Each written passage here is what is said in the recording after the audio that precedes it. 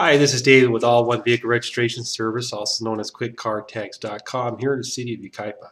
Today I want to cover a topic uh, known as vehicle registration suspensions. We're going to talk a little bit about what they are, how they impact you, and what you can do to resolve this problem for you the quickest and easiest way possible. Okay, first off, let's talk about what is a vehicle registration suspension. I'll talk about what happens. The registered owner fails to provide evidence of insurance within 30 days after the insurance or issuance of registration card upon initial registration or transfer of ownership.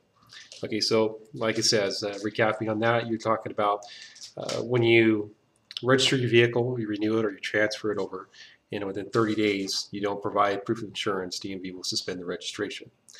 Okay, and there's another time also when DMV is notified that a insurance policy has been canceled and a replacement policy has not been submitted within 45 days.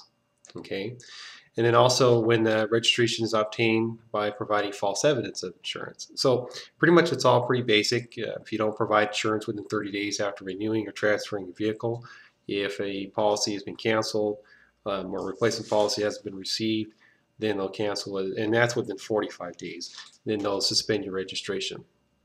Okay, so keep in mind too that oftentimes what happens is the insurance companies, there's a lack of communication perhaps between the time that you change insurance companies to another one, perhaps the information wasn't provided to the motor vehicles department, and during that time, um, information wasn't updated and the suspension was uh, put through through the program. So those things do happen sometimes, so they could be a major inconvenience. So what happens when your vehicle registration is suspended? What does it mean?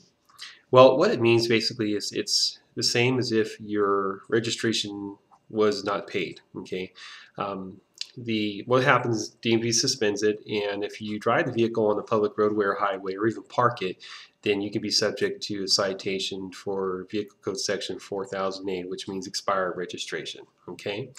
Um, so you don't want to do that because it can be a hassle and it can impact you. You know, you're not going to be able to drive the vehicle to work or use it for personal reasons, uh, picking up the kids from school or whatever it may be. All right. So here's a question that you probably have in mind by now. Well, how do I resolve it? Well, there's a couple ways that people try to do it. One way is to go online. If you go online through the Motor Vehicles Department website, one of the things that they'll do is they'll have you pay a $14 reinstatement fee, which is you know part of the process and then they'll also have you submit your insurance paperwork.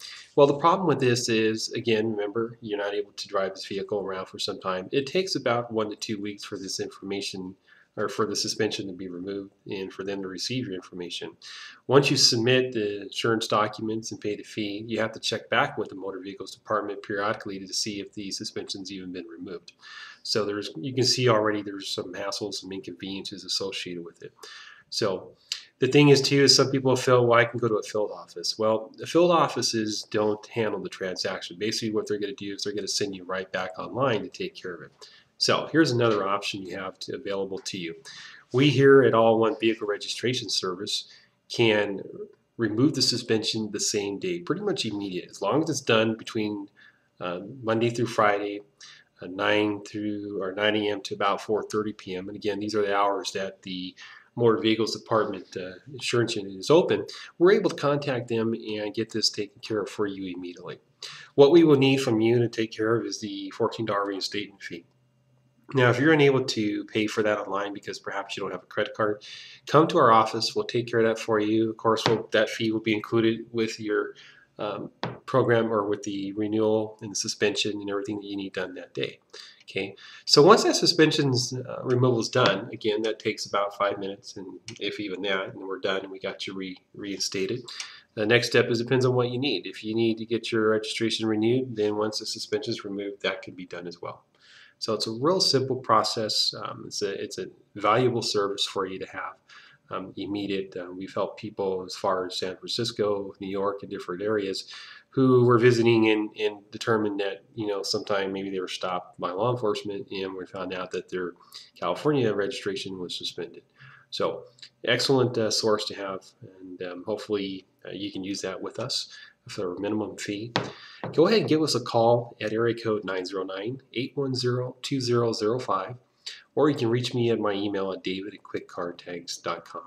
I hope this information has been helpful for you. Take care and have a good day and enjoy your holidays.